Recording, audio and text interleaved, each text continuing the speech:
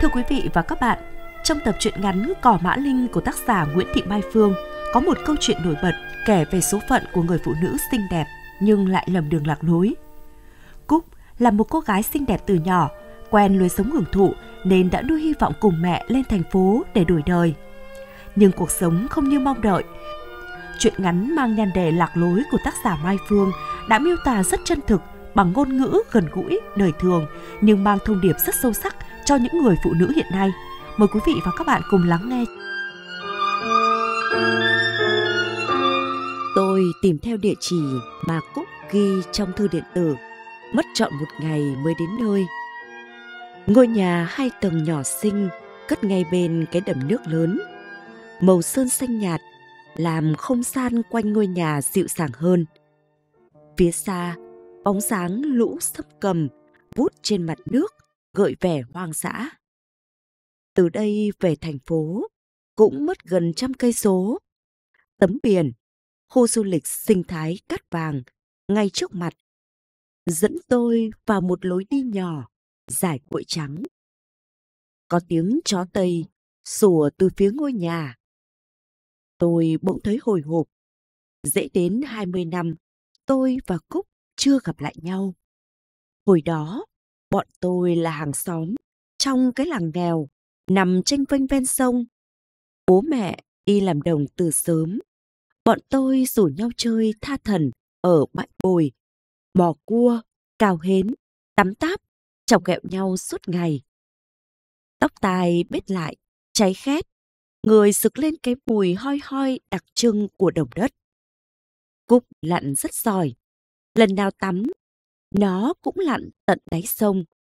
Tay móc lên một nắm cây tóc tiên hay mấy viên sỏi, miệng cười xanh mãnh.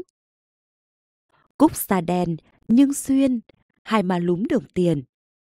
Mỗi lần Cúc đi chơi, đều có cậu bé thiện sát nhà làm vệ sĩ.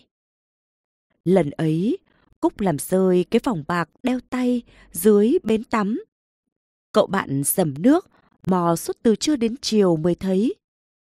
Cúc đứng trên mấy phiến đá xanh, một chân gác lên cái hàng rào thấp đầy hoa bìm bìm, cười tươi, xòe tay ra cho cậu bạn ướt như chuột lột, đeo cái vòng vào cổ tay. Tôi ngồi từ xa nhìn lại, Cúc giống như một nữ hoàng vậy. Thản nhiên nhận sự cung phụng từ cậu bạn. Cúc vui sướng, nhảy tót lên lưng Thiện. Thiện vui vẻ, cõng Cúc một đoạn dài. Cả bọn nằm trên cỏ, rồi nhắm mắt lại, lăn từ từ xuống sông. Tắm chán, chúng tôi rủ nhau đi ném chám để ăn. Tôi và Thiện hì hục tìm những hòn ngói nhiều góc cạnh, lia lên chùm quả. Cúc ngồi vắt chân bên mỏm cát, lim sim nhìn trời. Cúc lười thật, chả muốn tự làm gì. Bố Cúc mất sớm, mẹ Cúc làm mấy xào ruộng, thi thoảng lên thành phố làm thuê. Cúc ở nhà đi học rồi chốc nhà với bà ngoại, tha hồ tự do đi chơi. Không giống tôi, ngoài đi học, phải ra làm đồng cùng mẹ. Cúc lớn trước tuổi, sớm biết điệu đà.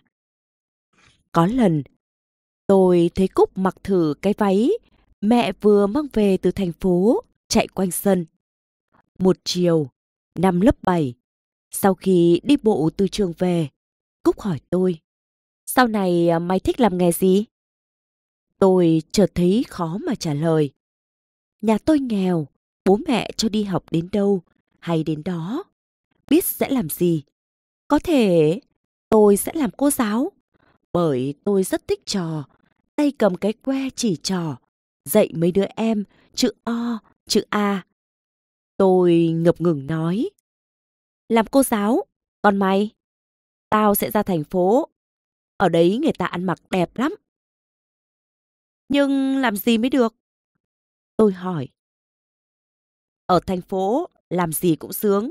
Mẹ tao nói, người ta làm gì cũng kiếm được nhiều tiền.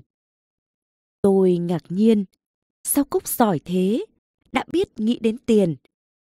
Trong khi đó, tôi hầu như quanh năm không nhìn thấy tiền. Mọi thứ bố mẹ lo, cũng chẳng được cầm tiền bao giờ.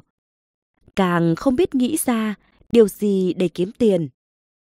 Mỗi lần bán lợn, bán chó có tiền, Cúc đã biết cất riêng những đồng tiền mẹ cho để mua nơ buộc tóc và gương soi dán vào lòng nón. Mỗi khi đội nón đi đâu đó, lâu lâu Cúc lại dơ nón lên, soi mặt mình vào gương, cười tủm tỉm. Thiện và Cúc có vẻ thích nhau, hai đứa tách đi chơi riêng. Tôi cũng bị bố mẹ quản lý chặt hơn, giao cho nhiều việc vặt trong nhà, không còn dịp đi cùng Cúc nhiều như trước. Năm tôi lên lớp 9 thì mẹ con Cúc chuyển nhà ra thành phố. Xóm nghèo là một bữa cua cá, kẹo bánh chia tay. Nhưng cuộc chia tay này, người đi háo hức lắm, không thấy buồn. Tôi cũng thấy trống trải, không biết khi nào gặp lại Cúc. Thiện thì ngồi khóc. Có vẻ nó không muốn rời xa Cúc. Mấy người đàn bà lam lũ, trong đó có mẹ tôi thì lạnh nhạt, ăn mấy cái kẹo lấy lệ rồi về. Đêm ấy, mẹ xoa xoa vào lưng tôi rồi bảo Con đừng tưởng có nơi nào tốt hơn nhà mình. Ở thành phố không có chỗ cho người nhà quê đâu con hạ Chả hiểu sao, mẹ nói thế rồi thở dài. Chắc mẹ sợ tôi đi theo Cúc. Mãi sau này, hàng chục năm khi tôi đã thành đàn bà có con, tôi mới hiểu tâm trạng đêm đó của mẹ mình. Mẹ đã dự cảm được những sông tố của mẹ con Cúc. Tôi lên cấp 3 rồi chật vật vào đại học, trở thành luật sư. Suốt những năm tháng ấy không hề gặp Cúc. Cũng không nghe được tin gì về Cúc. Bởi bà ngoại Cúc đã mất. Họ hàng thì mỗi người mỗi ngà. Thiện và Nam làm kinh tế mới với gia đình. Mẹ tôi kể, hình như Thiện và Cúc định lấy nhau nhưng trục trặc không thành. Làng nghèo của tôi xưa, giờ thành phố huyện khá sầm uất. Tôi về mở văn phòng luật sư cho gần nhà, tiện chăm sóc bố mẹ. Chồng tôi là đồng nghiệp nên hiểu công việc và biết chia sẻ. Nhiều lúc thấy tôi băn khoăn muốn tìm lại Cúc, anh đã bảo Em tìm sao được cánh chim trời, giữa em và họ chỉ là tình bạn thời ấu thơ. Tôi bỗng thấy buồn thế, có lẽ đúng là vậy. Nhưng quả thật, tôi chỉ có Cúc là bạn gái hàng xóm hồi ấy. Chúng tôi đã chơi chung nhiều trò, đã lớn lên bên nhau. Càng có tuổi, hình như người ta càng nhớ thời thơ bé. Tôi từng gục mặt vào vai chồng, thổn thức bởi cái cảm giác bơ vơ không có bạn hiểu mình. Tôi đã xeo lên khi văn phòng của vợ chồng tôi nhận được thông tin một khách hàng có nhiều điều giống Cúc. Ngày Cúc nhắn lên Facebook là Tao Cúc đây. Tôi mừng rỡ, díu dít khoe với chồng. Anh lặng lẽ, đứng ở thềm nhà cười khẽ. Tôi biết, anh cười vì tôi luôn có niềm tin thơ ngây về con người. Và chuyến đi này, tôi đã âm thầm chuẩn bị nhiều ngày. Tôi lái cái xe ô tô bốn chỗ cũ của chồng, đi theo chỉ dẫn Cúc viết trong email.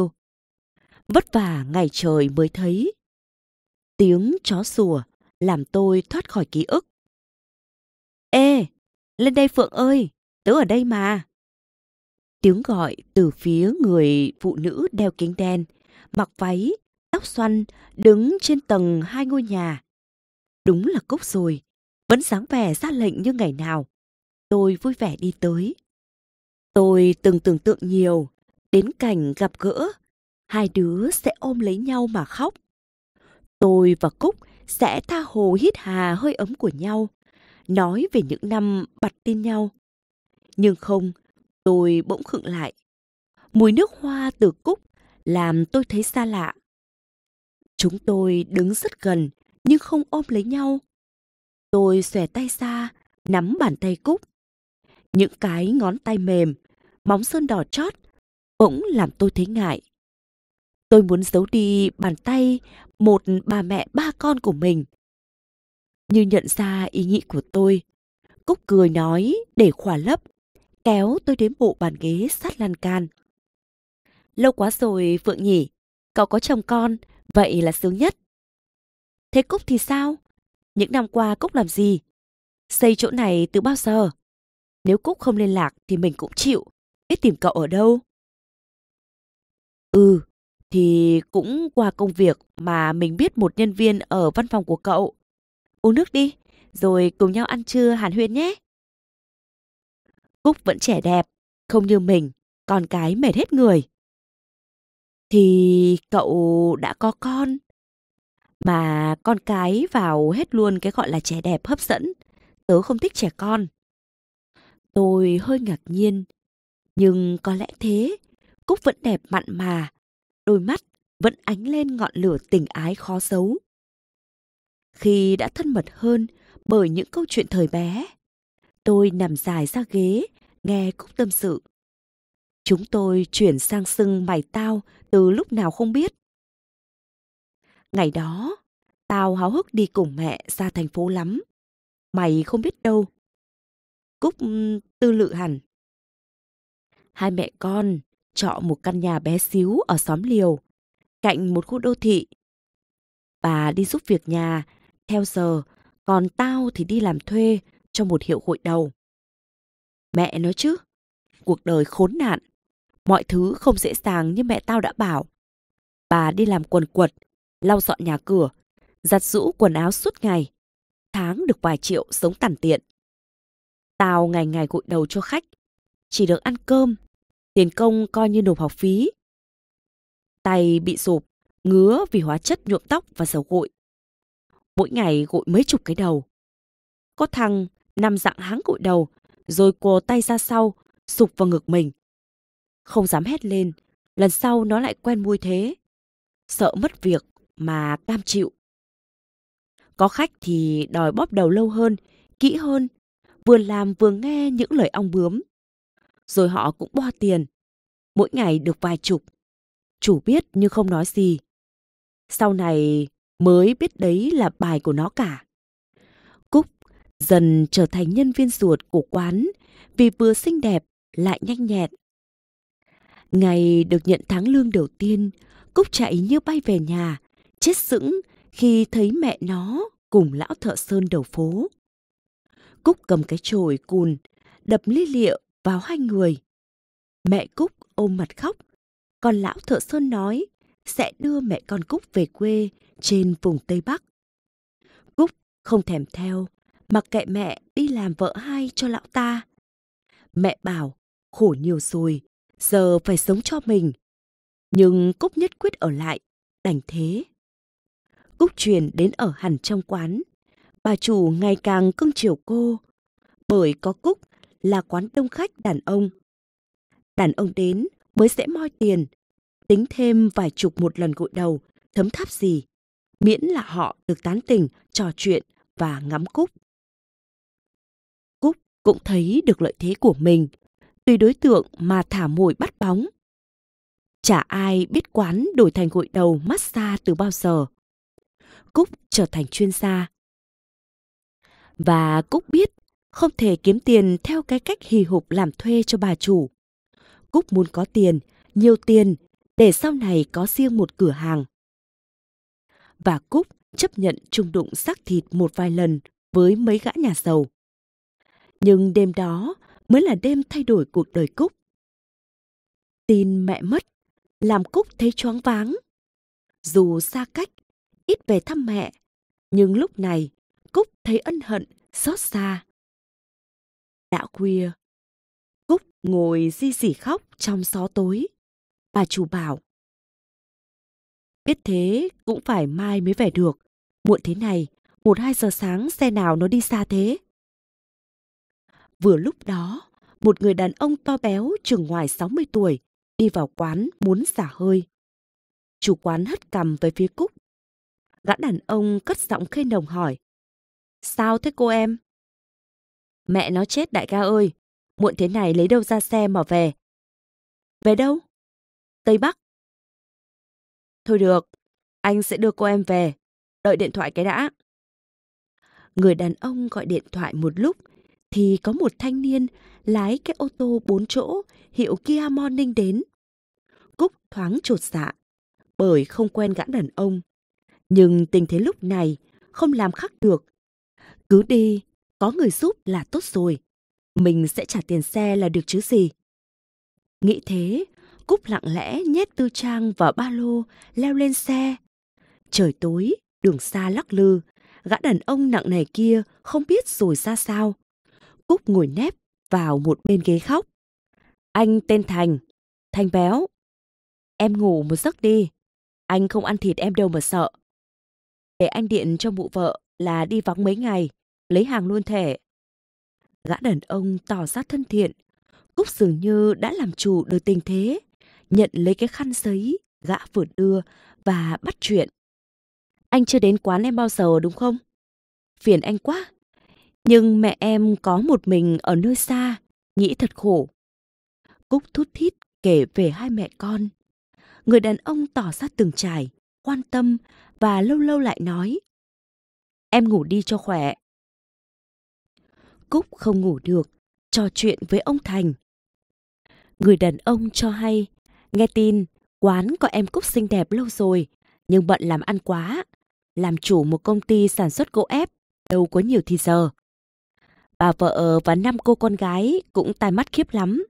Chẳng dễ mà sơ sảnh, nhất lại trong cái thành phố bé tẹo. Gần 2 giờ sáng, Cúc về đến đám tang của mẹ. Người đàn ông dặn Cúc, lúc nào về thì gọi. Ông ra thị xã ngủ và gặp bạn hàng. Cúc thấy yên tâm như có một chỗ dựa vững chắc. Chẳng còn nơi nào mang mẹ về. Cúc theo chân mọi người đưa mẹ nằm lại quả đồi gần nhà ông thợ sơn. Có thể lúc này Cúc mới biết mẹ cũng từng được hạnh phúc với cha dượng. Người mà Cúc chẳng mấy khi nói chuyện. Hai hôm sau, cúng ba ngày cho mẹ xong, Cúc gọi điện cho ông Thành. Người đàn ông đến, thành kính đặt cái phong bì lên bàn thờ mẹ Cúc, rồi vái mấy cái, chào cha dượng Cúc, đưa nàng về. Nhiều ánh mắt ngạc nhiên, tò mò đổ theo. Cúc không quan tâm, đưa cho dượng ít tiền, rồi lên xe. Từ đấy, mối quan hệ của Cúc và Thành Béo cứ tự nhiên mà khăng khít, mà gần gũi. Chẳng xa ngày mẹ mất bao lâu, hai người chính thức ăn ngủ với nhau mấy ngày trong một nhà nghỉ ngoại ô thành phố.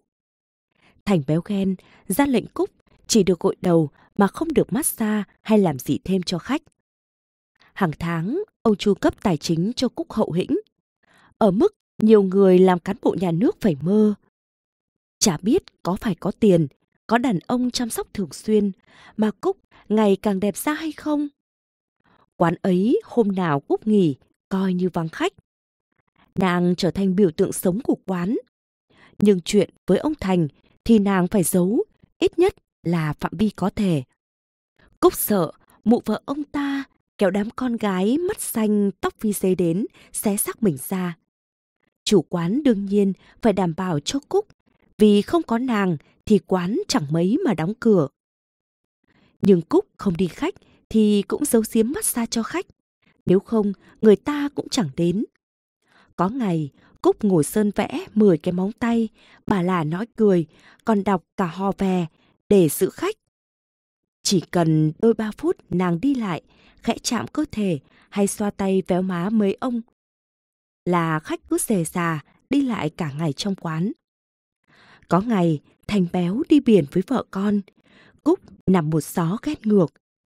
Bà chủ mách kế là có thai đi, đẻ lấy thằng cu con là giữ chân được lão đó ngay. Đàn ông tính thế, nhưng lão nào chẳng thích con trai. Cúc âm thầm lên kế hoạch, nhưng thất bại. Dân chơi đồn đến tai mụ vợ thành béo. Mụ thuê côn đồ đem xăng đến đốt quán massage. Chủ quán gọi công an đến. Nhân viên chạy tán loạn. Vụ ấy ẩm ý, rồi vợ thành béo phải đền tiền cho xây quán mới. Cúc muốn thoát cảnh sống chui rúc sơ sáy trong quán, nên vòi tính nhân mua nhà. Căn nhà hai tầng nhỏ ở cuối thành phố trở thành nhà Cúc, người tình của Cúc lâu lâu lại trốn vợ con đến đó ở mấy ngày. Cúc mở tiệm làm tóc, sơn móng nghệ thuật. Cũng dần có khách đủ duy trì cuộc sống. Sau khi gả chồng hết cho mấy đứa con gái, Lão Thành bỗng gắn bó với Cúc hơn.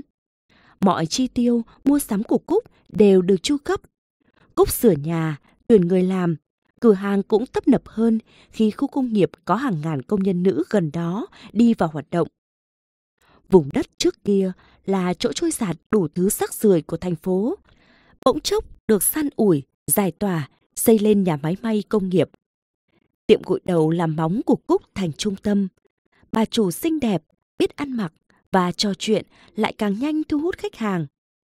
Cúc làm ăn gặt hái hơn, người tình năng đến tiệm hơn khi bà vợ già chán trường mệt mỏi buông xuôi.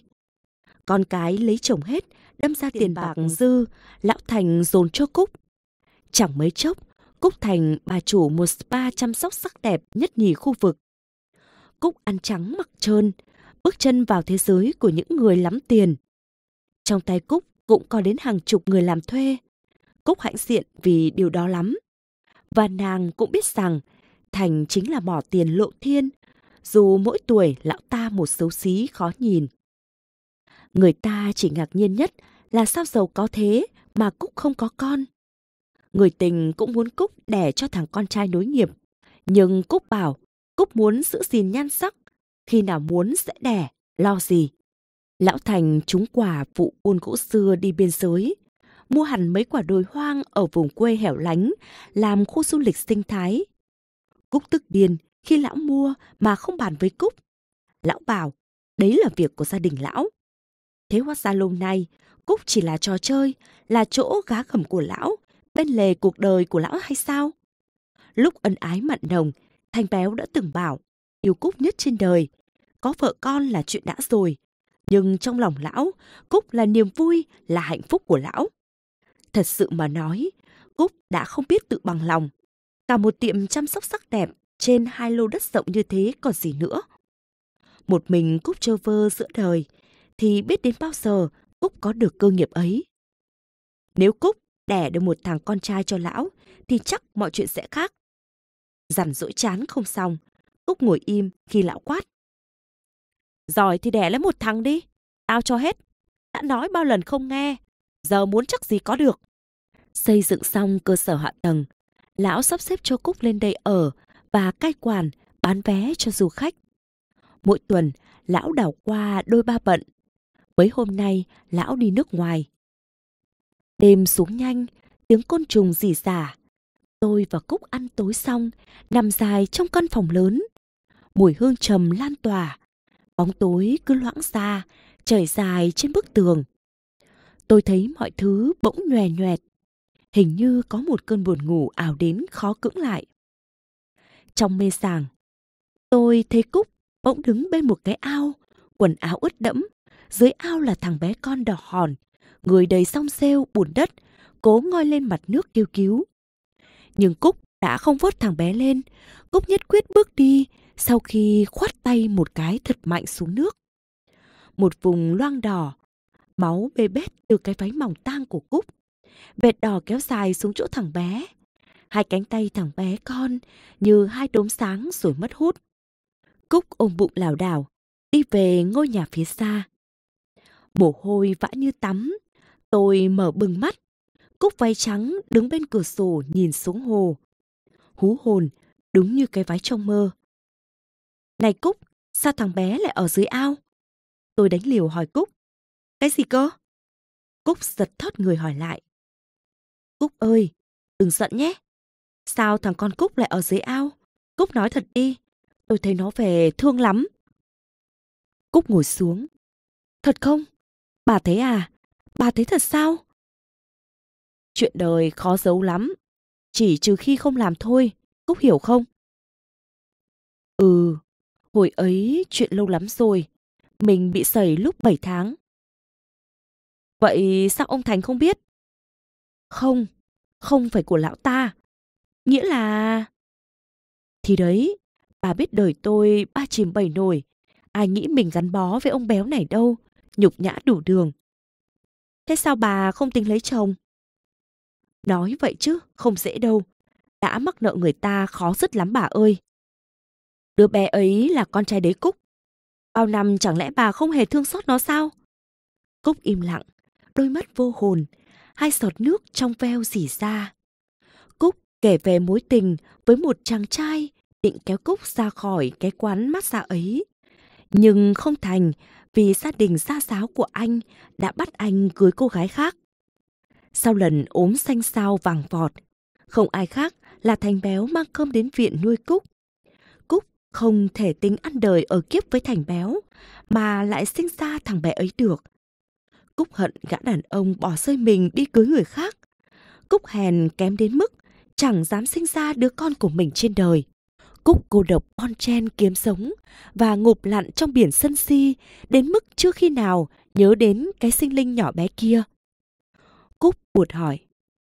Bà biết gì nữa không? Chẳng lẽ... Tôi chẳng muốn biết đâu. Nhưng cứ chợp mắt là thằng bé đòi tôi bế lên. Người nó ướt và lạnh. Bà nên đến chùa cầu siêu cho con. Và dù muộn, bà nên sám hối đi. Cúc đi sai đường rồi. Một khoảng lặng. Hồi lâu thì Cúc khóc. Tôi đã nghĩ chuyện này chỉ tôi biết và trời đất biết thôi. Đời tôi lạc lối mãi bà ơi. Tôi chưa bao giờ đủ can đảm ngồi im nhìn ai khóc nên ôm lấy Cúc. Thật sự lúc này tôi nghĩ mình đang ôm cái con bé Cúc chân đất ngày xưa chứ không phải một thiếu phụ lưu lạc gió xương. Dưới đôi vai khẽ sung lên ấy, tôi thấy được nhịp đập của nỗi cô đơn tột đỉnh. Cuộc sống vùi úp và mê trận của ái tình, của tiền bạc và những nỗi cô đơn. Có lẽ chính Cúc đã nhận ra cuộc hôn phối với Thành Béo chẳng phải là tình yêu như Cúc vẫn mong chờ. Nhưng có ai trên đời này lo cho Cúc, yêu thương Cúc như ông Thành đâu. Đám đàn ông sâu xé Cúc rồi phới đi bạt tăm. Họ chỉ coi Cúc là món hàng, trao tiền là xong. Nhưng thật buồn, Cúc lại không nghĩ thế. Cúc đã vô tư tưởng rằng mình có giá trị, mình xinh đẹp, mình làm ra tiền, cần tiền để sống. Và Cúc có thể tiêu khiển họ. Tôi biết, Cúc vừa thừa nhận trong sâu thẳm rằng Cúc đã chối bỏ làm mẹ. Xong cái thai ấy xa khi nó đã thành người, rồi vùi nó xuống ao phi tang của tình đau khổ. Bóng tối đã làm cho Cúc không thể nhìn ra thằng bé ấy đã có thể sống. Tôi dìu Cúc ngồi sát cái ghế, nhìn mặt đầm xa xa. Cúc nói như hụt hơi. Giá mà tôi được gặp bà sớm hơn, tôi có khi đã khác. Mai tôi đi chùa. Ừ, bà nói cái việc đã hẹn với tôi đi. À, tôi định nhờ bà tư vấn làm thủ tục sang tên khu đất này cho tôi. Sao? Tưởng chung với ông Thành, bà còn nhà trên thành phố nữa? Ừ, chung, nhưng muốn là của mình. Để làm gì? Ừ, từ khi nãy tôi lại nghĩ có khi chẳng để làm gì. Con chả có, chết cũng không mang đi được. Vấn đề là bà nên suy nghĩ lại xem mình sống thế này có ổn không ý chứ. Tôi không biết là có ổn không. Tôi còn ai thân thiết đâu. Mấy hôm ông Thành đi vắng cũng buồn. Vậy thì bà yêu ông ta còn gì nữa? Cúc im lặng. Tự nhiên tôi thấy Cúc không hề đẹp. Cứ như một đám mây đen đóng khung toàn thân Cúc lại. Vầng trán và đôi mắt không có ánh sáng. Cúc rủ tôi xuống thành phố ăn bún ốc rồi chơi đâu đó. Nhưng tôi phải về. Ngủ một đêm ở nơi lạ, không cần người thân yêu khiến tôi thấy mình lạc lõng. Tôi quen vùi mặt vào vòng ngực ấm của chồng, không gặp đâu hơi ấm như vậy nữa. Cúc thất thần pha ấm trà thảo dược. Cúc bảo, Cúc đã chợt nhận ra một điều quan trọng. Mai kia có thời gian, hai đứa sẽ nói về nó. Tôi chỉ dặn Cúc, khi nào suy nghĩ được cần phải thay đổi cuộc sống của mình thì gọi cho tôi. Ánh sáng tràn vào cửa xe, tôi buông tóc đổ sốc chậm chậm. Tự xưng muốn nghe bản nhạc lãng mạn Love's E Blue. Lòng tôi nhẹ đi khi đã nói được với Cúc những lời chân thật. Qua khúc cua, tôi nhìn lên ngôi nhà Cúc. Cúc đứng ngoài lan can, giơ cả hai tay lên miệng. Có vẻ Cúc đang ra sức gọi tôi, hoặc nói gì đó. Gió thổi tóc bạt qua một bên má. Tôi giơ tay chào rồi đi tiếp, làm cuộc đồng hành với gió. Tôi vừa có một thương vụ làm ăn thất bại. Thân chủ không thuê văn phòng luật của chồng tôi nữa. Vậy mà sao tôi lại không thấy buồn, thậm chí thấy vui nhưng trong lòng thì say dứt mãi về cái dáng đứng cô độc lẻ loi giữa nền trời của Cúc. Đêm ấy, tôi Tôi giật mình thức dậy bởi điện thoại bỗng rung. Cúc gọi